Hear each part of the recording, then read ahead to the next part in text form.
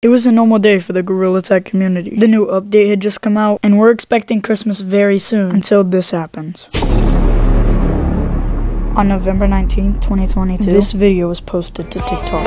It's a man who can slap can also stroke. What is this, and why did he run away so fast? This is a brand new Gorilla Tag ghost known as End is Here.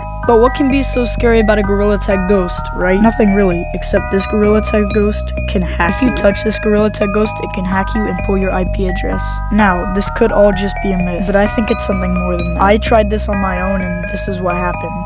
Alright, so I'm gonna be trying the trend End is Here, so it's End is Here. And that's it. Just.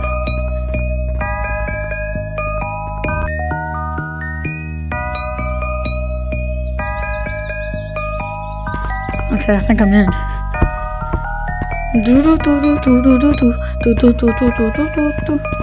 It's right here in the mirror. Oh my god! Ah! Oh!